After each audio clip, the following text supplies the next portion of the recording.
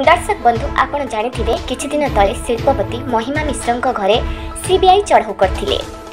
କୋଇଲା ପ୍ଲଟ ଆବଣ୍ଟନ ନେଇ ପଚିଶ ଲକ୍ଷ ଟଙ୍କାର ଲାଞ୍ଚ କାରବାର ସମ୍ପର୍କରେ ଏହି ଚଢ଼ାଉ କରାଯାଇଥିବା ସୂଚନା ମିଳିଥିଲା।